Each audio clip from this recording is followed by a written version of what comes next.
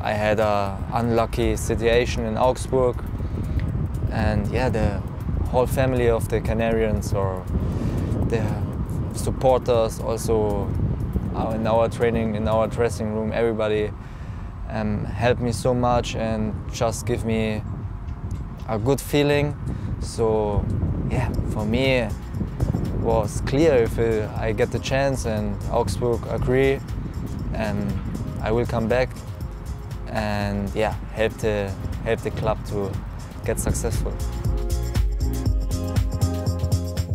Like I said, of course, it's really nice if the fans like you and support you. And yeah, I get a lot of message also of Instagram or Facebook um, of Norwich supporters. And it feels just great that uh, we have a massive supporters. And yeah, if they like you, you feel good and of course it helps you to decide um, your decision. I know Don Daniel a little bit more than other people's and yeah, it's just good for me um, that he like playing how he plays.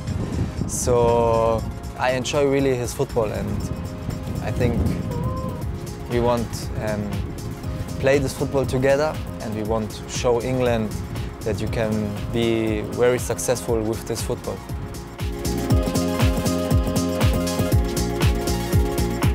I had a great time um, with some good games, with some okay games. So no, I just want to be a part of this club and um, for sure I'm really happy and also really really proud to be here and can wear the shirt.